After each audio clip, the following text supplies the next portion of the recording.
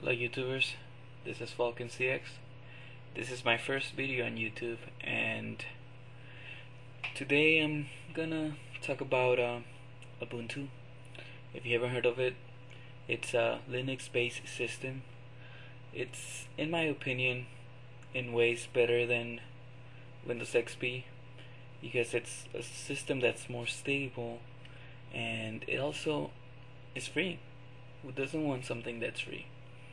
Um, all the applications you want you can just get them for free if you use Linux. Um, with Windows XP for most of the software you have to pay for it. So Linux is a way to be free in a way and it looks pretty awesome. So if you want to try out Ubuntu but you don't want to get rid of your Windows system because there are some applications that you can't find in Ubuntu.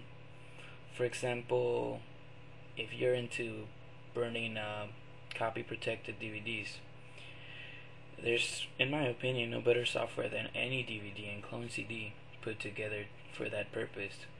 So, in that case, you might want to keep Windows XP and do a dual boot and have uh, Ubuntu installed on your system what a dual boot does is when you turn your computer on, it'll either let you go into Windows or onto Ubuntu. You can do this with Windows XP, Vista, Windows 98. So you can still keep your Windows XP and have Ubuntu for your other needs.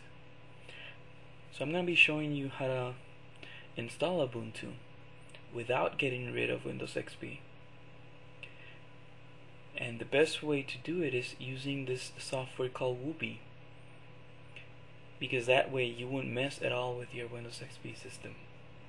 So the first thing you want to do is open up your your web browser and go onto Wubi dash installer.org and that's gonna take you to this site. Um, you want to click on download now? Wubi 8.10 I already have it here so I won't download it. Maybe I should just to show you. It's a pretty small file. It's only like um, one megabyte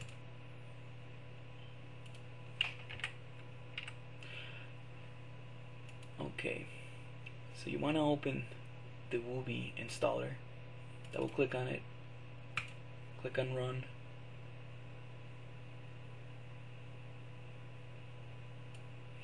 And you want to select the drive where you're going to install it on. So select the drive where Windows XP is already installed. In my case, it's D. Most people have it on drive C just to make sure where Windows is, go to my computer,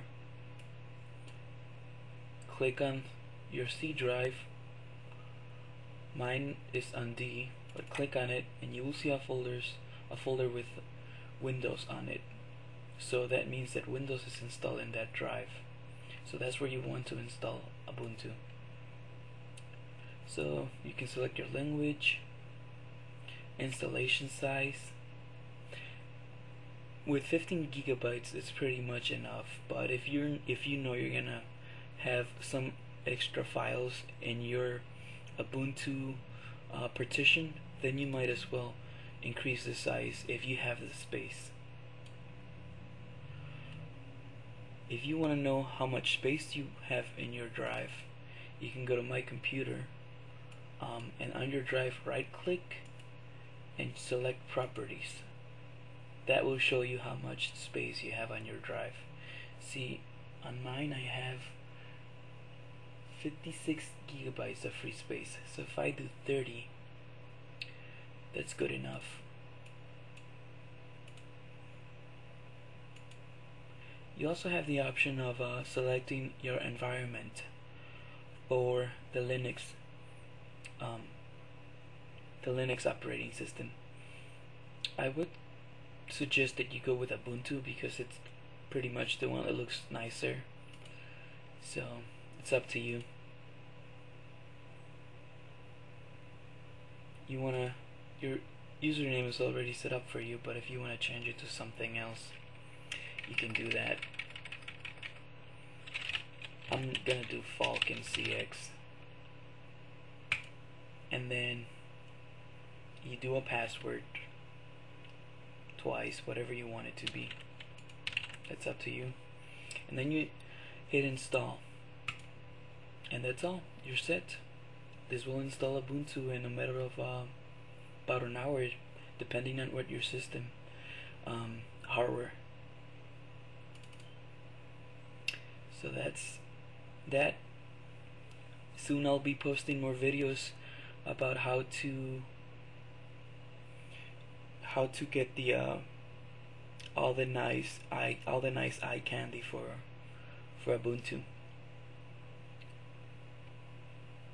See you then.